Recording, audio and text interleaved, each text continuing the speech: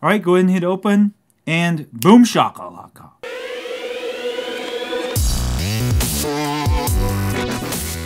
Hi guys, it's Max from HighOnAndroid.com where we get on Android every day. Today I'm going to show you how to root your Pixel or Pixel 2 XL. Sorry, Pixel 2 or Pixel 2 XL. I've already rooted uh, my Pixel. It took me maybe 10 minutes. Let me show you how to do it. All very easy to do. Now, before I begin, unlocking your bootloader will erase everything. And that's part of the requirements of doing this. So back up everything you begin before you begin.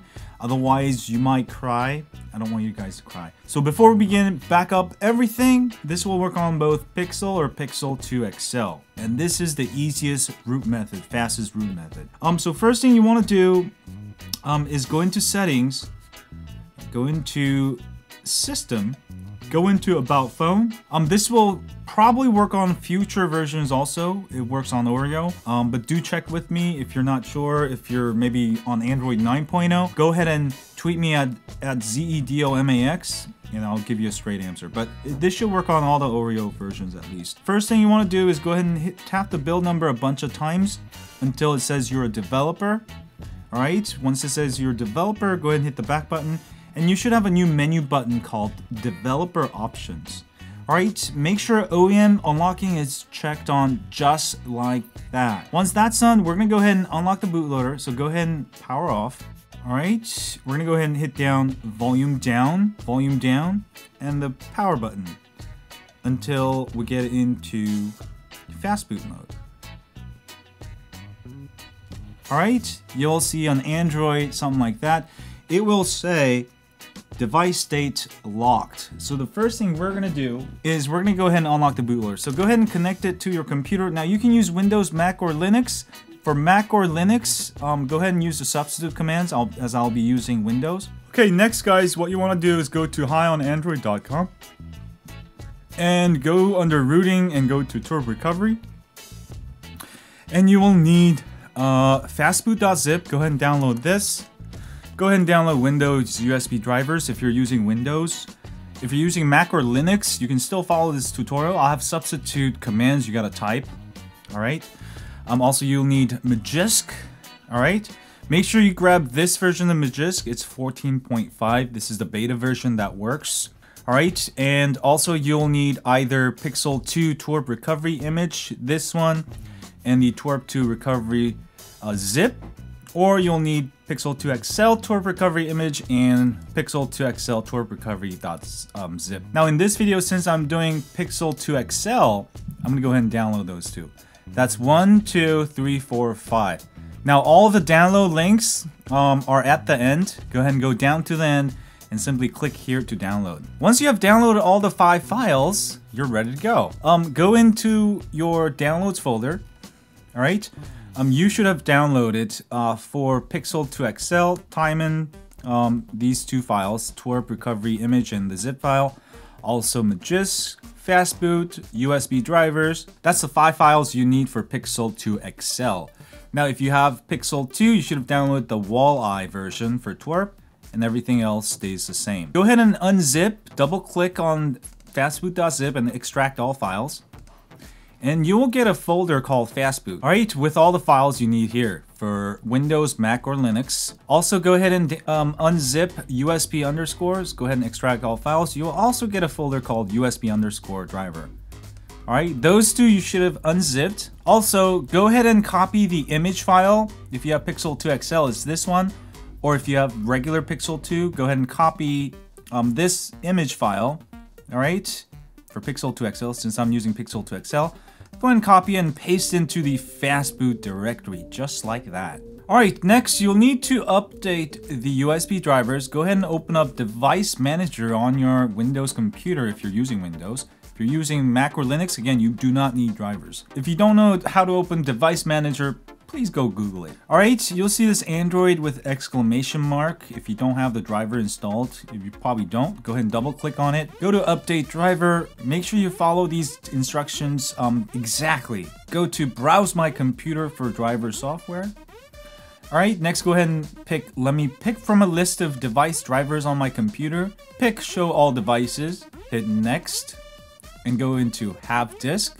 Go into browse, and go into your download folder and go ahead and go into the USB underscore driver folder that you unzip the files to. Choose Android underscore winusb.inf, hit OK, OK, and you should see Android bootloader interface. Go ahead and hit next and this will install the proper drivers and you are now ready to go. So it should say Android bootloader interface. Next, you're gonna go ahead and open a command prompt, go into start, search, and type CMD. Oh, sorry.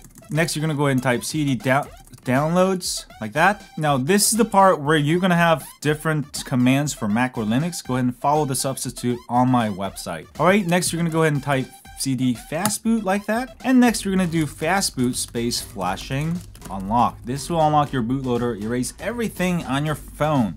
So when you guys are ready, we're gonna go ahead and do this. Ready, set, go. All right, you'll see on your phone, you can go ahead and choose unlock the bootloader using the volume keys. Um, or maybe you should be able to press it. No. Go ahead and hit the power key. And you've just unlocked your bootloader and go ahead and hit start. It should actually reboot uh, automatically, but for some reason it didn't. Now you will get this warning screen every time you boot now. This is just because you rooted your phone. Um, don't worry about it. It's just gonna show and it's just gonna boot. Now everything will get erased. It will start over from scratch. So I will be back when this is done. This should take about a minute or a few minutes. Let it boot all the way and Okay guys, once rebooted, go ahead and sign in. Alright, I'm just gonna go ahead and skip everything. Okay guys, once signed in, go ahead and connect it to your computer as a storage device. Make sure it's on transfer files.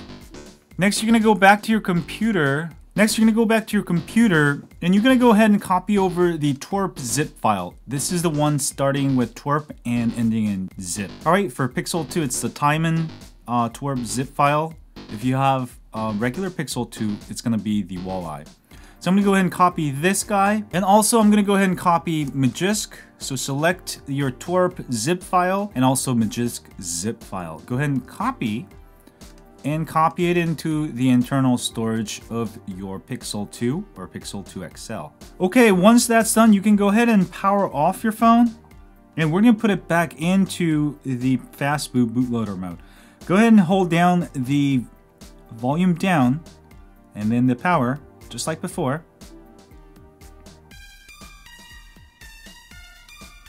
Alright, you should be on this screen. It should now say device state unlocked. Congratulations. Um, go back to your computer, go into your command prompt, go ahead and type fastboot space, boot space, go ahead and type TWRP and hit the tab key. Alright, it will fill it out for you. And go ahead and hit enter. And this will boot your phone into twerp recovery. Come on, focus, focus, focus. Okay, you do not need um, your USB cable anymore. You can go ahead and take it out. Okay, you're gonna go ahead and go to keep read only, right? And you're gonna go ahead and go to install. And you're gonna go ahead and um, choose twerp pixel installer blah blah dot zip. All right, confirm to flash. This will flash the official twerp recovery permanently on your Pixel 2 or Pixel 2 XL. Alright? Alright, next you're to go ahead and hit the home button. And you're to go to install. And you're to go ahead and choose Magisk, which will root your phone. Alright, go ahead and confirm flash. And that's pretty much it. Your phone should be fully rooted with Magisk and also Magisk Hide working, which means you can use Android Pay um, you can go ahead and play all the Pokemon games, all the Nintendo games that, you know, um, detect root using safety net. You'll be able to pass your safety net. All right, go ahead and go to reboot, do not install. Set this aside for a second here. And once rebooted, we should have fully rooted Pixel 2 or Pixel 2 XL. That was pretty easy, right? Um, so you guys should be done by now. Pat yourself on the back. And this method should, yeah, work on any Pixel 2 or Pixel 2 XL. Also should work in the future. Alright, once rebooted, let's go ahead and check it out. Alright, here's the moment of the truth. Swipe up, and boom shakalaka. Magisk Manager. All right, go ahead and open it up. You'll see something like this. Go ahead and tap to start safety check. Say yes, and boom shakalaka. If you see both check marks, that means Magisk is working. It's also hiding root for you, which is really nice. If you want to verify you have full root, you can go ahead and download any rooted app. And I'm going to go ahead and download Titanium Backup Root, which I also highly recommend for backing up your apps with data. Do look into Titanium Backup app, especially when you change ROMs often. That way you can keep your apps, back them up, and restore them. So you don't have to start over with all of your apps. All right, go ahead and hit open, and boom shakalaka. If you see this, you have fully rooted your Pixel 2 or Pixel 2 XL. And that's pretty much it. And now you do not need your computer. You can go ahead and download custom ROMs straight onto your phone and you can go ahead and install custom ROMs. Also, you can back up your custom ROMs. I do highly recommend I'm getting a USB OTG cable. This one actually came with uh, my Samsung phone. Basically, you can back up all your ROMs into the flash drive so it won't take up space on your phone. So I will post a link on my tutorial on my site on how to back up and restore ROMs using Torp. So look into that also. Now, phones with fingerprint, um, when you back up and restore, make sure you turn off your fingerprint and other securities because when you restore, um, they might actually block it. But that's pretty much it, folks. Have a great day. If you root it using my video, please hit that like button. Even if you didn't, if you thought this was very helpful, please hit that like button. I do highly appreciate it. I'll have a great day. Subscribe, follow me on Twitter, Facebook, Google+, Instagram, Periscope. And as always, stay on Android. Click here to subscribe.